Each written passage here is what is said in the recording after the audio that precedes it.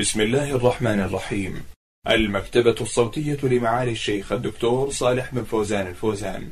حلقات تبث في إذاعة القرآن الكريم. نور على الدرب. برنامج يومي. يجيب فيه أصحاب الفضيلة العلماء عن أسئلة المستمعين.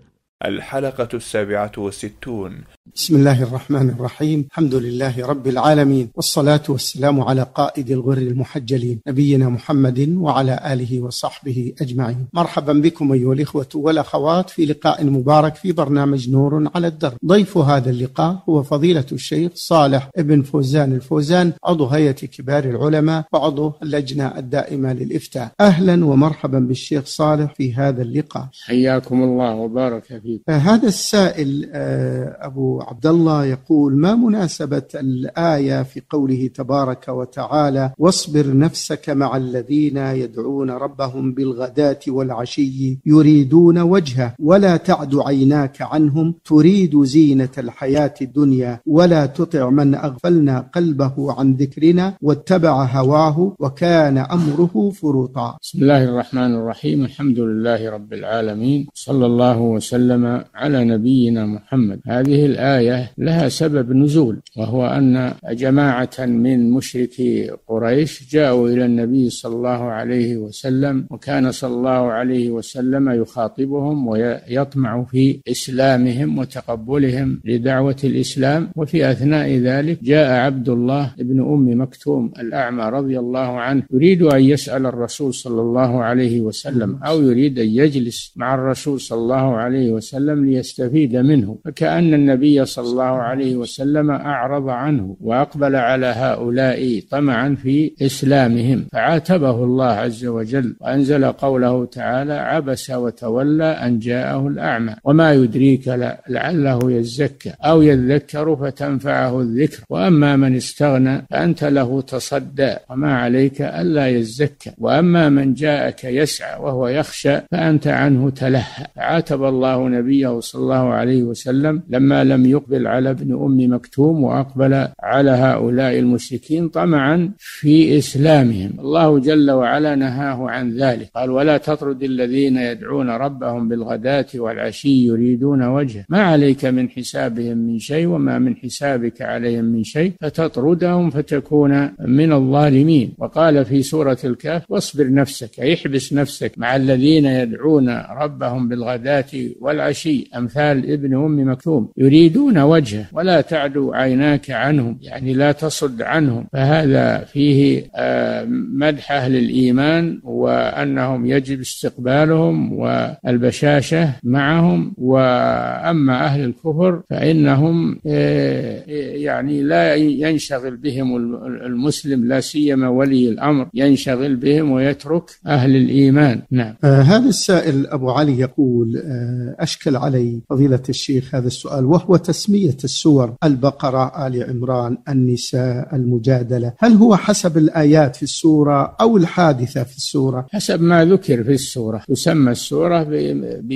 بالاسم الذي ذكر ذكر فيها. نعم. وبالنسبة يقول هل يجوز جمع صلاة الشفع والوتر معا بتشهد واحد؟ نعم يجوز ولكن لا يجلس لا يجلس بينهما بل يكون ذلك سردا يسرد الثلاث جميعا ولا يجلس بينها لئلا يشبهها بالصلاة المفروضة. نعم. يقول هل ورد حديث إذا ولغ الكلب في إناء أحدكم فليغسله سبعا إحداها بالتراب؟ حديث صحيح هذا. ورد فيه حديث صحيح في صحيح البخاري. إذا ولغ الكلب في إناء أحدكم فليغسله سبعا وليعفره بالثامنة بالتراب أو السابعة أو أولاهن بالتراب. المهم أنه يجمع بين الطهورين. وهو الماء والتراب لأن التراب طهور أيضا ولذلك يتيمم به عند فقد الماء. فيجمع بين الطهورين لأن نجاسة الكلب مغلظة لا تزول إلا بجمع بين الطهورين. نعم. يقول بالنسبة للعاب الكلب إذا أصاب الثوب. يغسل نجس لعاب الكلب نجس ولكن يزيلها الماء يغسله. نعم. السائلة أم إبراهيم تقول بالنسبة للسجود على السرير كسجود التلاوة يا شيخ؟ لا بأس. به أن يومئ بالسجود إذا مر بآية سجدة على حسب حاله إن كان جاء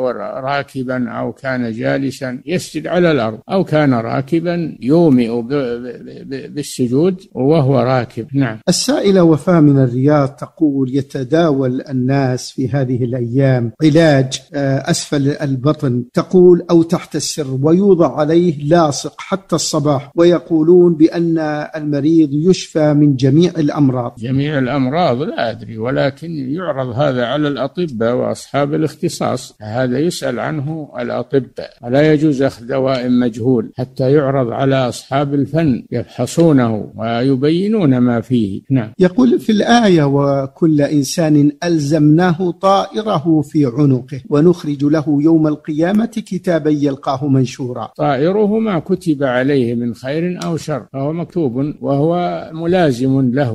في حياته يعمل بما كتب فيه من خير أو شر. نعم. كذب المنجمون ولو صدقوا. هل هذا حديث وما معناه؟ لا أعلم أن هذا حديث ولكنه سائر على الألسنة ومعناه صحيح. المنجمون كذبه ولا يمكن أن يصدق. أما كلمة ولو صدقوا يعني لو وقع وفق ما قالوا فإن هذا ليس لخبرهم وإنما هو لقضاء وقدر. نعم. أحسن الله إليكم. فضيلة الشيخ يقول السائل إذا كان هناك خلاف بيني وبين شخص هل يرفع العمل في حالة عدم المسامحة لكل منا؟ الخلاف في الدين هو الذي يمنع رفع العمل أما الخلاف في أمور الدنيا والخصومات فهذه لا تعلق لها بالإيمان وإن كان المطلوب أنهم يتصالحون فيما بينهم وينهوا الخلاف فيما بينهم. نعم. يقول أريد أن أشتري من شخص سيارة بالتقسيط على أن أبيعها على غيره. هذه مسألة التورق. إذا احتاج الإنسان إلى مال أو تمويل فإنه يجوز له عند جمهور أهل العلم أن يتقدم إلى التاجر ويشتري منه السلعة بثمن مؤجل ويستلمها ويقبضها ثم يبيعها على غير من استدانها منه ويقضي حاجته بثمنها. فإذا حل الأجل يقضي ثمن السلعة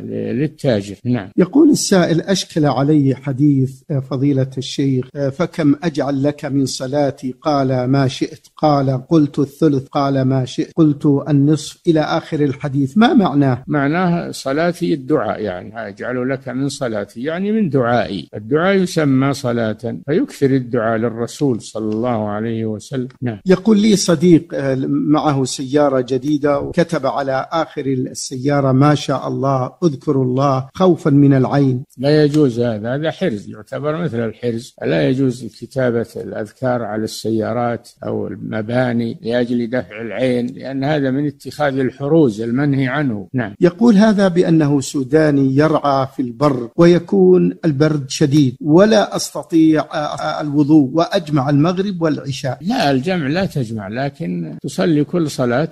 في وقتها ما دمت مقيما في البر ولا تجمع. الجمع إنما هو لمن جد به السير أو للمريض أو الجمع بين العشاءين في المسجد لأجل لأجل توقي المطر أو الوحل. لا يجوز الجمع بين الصلاتين إلا لعذر شرعي. وأنت مقيم مع المواشي فتصلي في محل إقامتك كل صلاة في وقتها أو في منزل أو في المنزل الذي أو الخيمة التي أو الصندقة التي أعدت لك. تصلي فيها كل صلاة في وقتها. نعم. يقول هذا البدعة لماذا سميت بدعة؟ وهل فيها بدعة حسنة حسنة وكم أقسامها؟ البدعة كما قال صلى الله عليه وسلم من أحدث في أمرنا هذا ما ليس منه. فالبدعة هي ما هي العبادة التي يقترحها الإنسان وليس لها دليل من الكتاب والسنة. يقصد التقرب بها إلى الله وهذا وهي باطلة ومردودة على صاحبها. فيجب الاقتصار على ما ثبت في الكتاب والسنة وترك البدع والابتعاد عنها. قال صلى الله عليه وسلم وإياكم ومحدثات الأمور. فإن كل محدثة بدعة وكل بدعة ضلالة. وفي وفي رواية وكل ضلالة في النار. يجب الابتعاد عن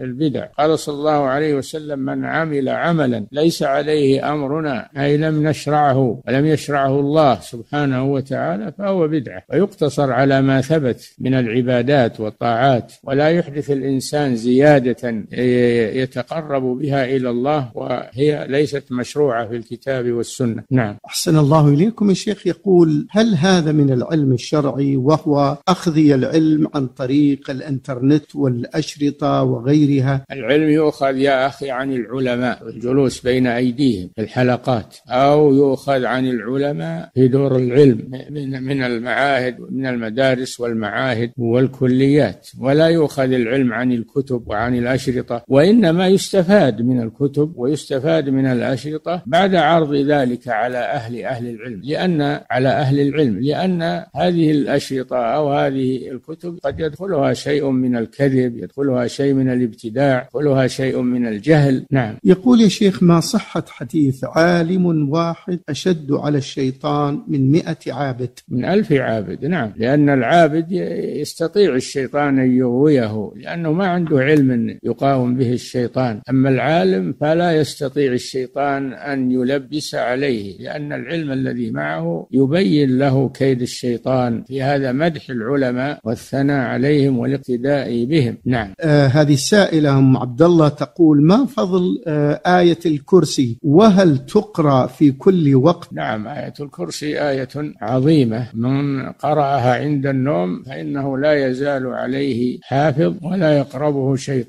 حتى يصبح هي آية عظيمة لأنها جمعت فيما ذكر فيها أسماء الله وصفاته ذكرت وصف الله بالكمال وتنزيهه عن النقص والعيوب. ففيها نفي وإثبات. فيها نفي الكمال لله والأسماء والصفات لله وفيها نفي النقص والعيب عن الله سبحانه وتعالى. نعم. السائل إبراهيم يقول ما حكم بيع المرهون؟ لا يجوز بيع الرهن إلا بإذن الراهن وهو, وهو الداين. الداين الذي رهنه. فلا يجوز إلا بإذن الراهن فإذا أذن جاز بيعه. نعم. شيخ هذا يسأل عن معنى حديث إن الله لا يمل حتى تملوا. إن الله سبحانه وتعالى لا يمل حتى تملوا. هذا حديث ثابت عن الرسول صلى الله عليه وسلم. إن الله يقبل العبادة ويثيب عليها ما دام الإنسان يتعبد لله عز وجل. ولكن الإنسان إذا إذا ثقلت عليه أو شقت عليه العبادة وتركها الله جل وعلا يعرض عنه حتى يرجع إلى العباد. صلى الله عليه وسلم عليكم من العمل ما تطيقون فإن الله لا يمل حتى تملوا. نعم. يقول بعض الناس يفضل الأولاد على البنات. لا يجوز هذا. إن كان يفضلهم بمعنى حرمان البنات وإعطاء الأولاد هذا لا يجوز. أما إذا كان يفضلهم بما وافق الشرع للذكر مثل حظ الأنثيين فهذا لا بأس به. نعم هذا عدل. نعم. هذا يقول فسروا لنا الآية الكريمة إنما يخشى الله من عباده العلماء. نعم أن العلماء بالله عز وجل الذين يعرفون الله ويعرفون أسماءه وصفاته ويعرفون قدرته سبحانه وتعالى هؤلاء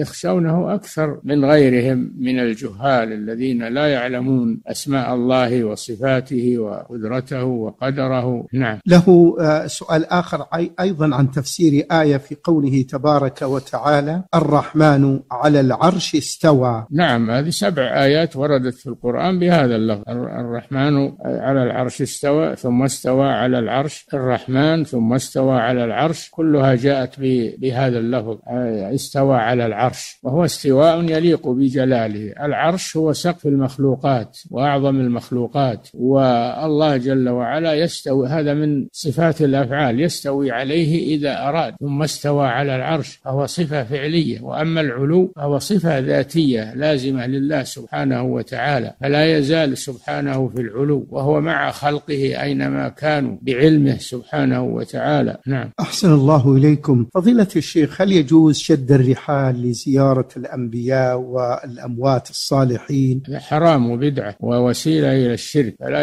يسافر لأجل زيارة القبور. ولا يجوز السفر إلى مكان لأجل العبادة فيه إلا إلى المساجد الثلاث. لا تشد الرحال أي لا يسافر إلا إلى ثلاثة مساجد المسجد الحرام ومسجدي هذا مسجد الرسول صلى الله عليه وسلم في المدينة والمسجد الأقصى في بيت المقدس. هذه المساجد الثلاثة يسافر إليها لأجل الصلاة فيها. الصلاة في المسجد الحرام عن مئة ألف صلاة. الصلاة في المسجد النبوي عن عشرة آلاف صلاة الصلاة في المسجد الأقصى عن خمسمائة صلاة صلاة الواحدة. نعم. هذا السائل آه، أبو عادل يقول عندي سفر لمدة سنتين للعلاج في إحدى الدول وقرأت فتوى بأنه يجوز لي أن أجمع وأقصر مدة علاجي خلال السنتين. لا إذا كنت مقيما فلا يجوز لك القصر. وأما الجمع إذا كان تحتاجه من أجل المرض فإنك تجمع. وأما القصر لا ما دمت مقيما إقامة تزيد على أربعة أيام وأن تعلم ذلك يلزمك إتمام الصلاة. نعم. يا شيخ إذا أقام المسافر في بلد ثلاثة أيام وفي نيته مواصلة السفر هل يجوز له الجمع؟ إذا كانت الإقامة أقل من أربعة أيام في أثناء السفر يجوز له الجمع. ما إذا كانت الإقامة أكثر من أربعة أيام فإنه يتم الصلاة. نعم. ما نصيحتكم يا شيخ للآباء الذين يطمعون في رواتب بناتهم ويؤخرون الزواج وقد بلغت من العمر أكثر من ثلاثين سنة. هذا حرام عليهم وهذا عضل والعضل حرام والعضل منع منع المرأة من الزواج بكفء رضيت به وهذا ظلم لها لا يجوز له أن يفعله من أجل استثمارها ويفوت عليها الزواج هذا حرام عليه. نعم. يقول رجل يصلي بالليل ومن عادته يصلي الليل وصلاة الليل مثنى مثنى فقام إلى ثالثة ناسيا فماذا يفعل؟ يجب عليه الجلوس. إذا قام إلى ثالثة ناسيا فإنه يجب عليه الجلوس وعليه سجود السهو. نعم. هل من السنة يا شيخ رفع اليدين عند دعاء القنوت؟ إي نعم رفع اليدين عند كل دعاء في القنوت وغيره. وهذا من أسباب الإجابة. نعم. يقول في بلادنا عادة وهو لباس الأسود والتمسك به حتى الانتهاء من العدة. لا أصل لهذا. المعتدة تلبس المعتدة للوفاة تلبس ما تيسر لها إلا أنها لا تلبس ثياب الزينة تجنب ثياب الزينة وتلبس ما عداها من الملابس التي ليس فيها زينة. نعم. أخيرا يسأل هذا السائل يقول ما هي كفارة اليمين المغلظة؟ كفارة اليمين كما ذكرها الله سبحانه وتعالى قد فرض الله لكم تحلة أيمانكم. في آية المائدة فكفارته إطعام عشرة مساكين أو كسوتهم أي كسوة عشرة مساكين أو آه، صيام ثلاثة أيام. شكر الله لكم يا فضيلة الشيخ وبارك الله فيكم وفي علمكم على ما بينتم وأجبتم للإخوة والأخوات في أسئلتهم واستفساراتهم في حلقة هذا اليوم من برنامج نور على الدرب. شكرا لحضراتكم أنتم أيها السادة ويتجدد اللقاء إن شاء الله. هذه تحية من فريق العمل ومن زميلي عبد الله المواش الذي سجل هذا اللقاء. والسلام عليكم ورحمة الله وبركاته.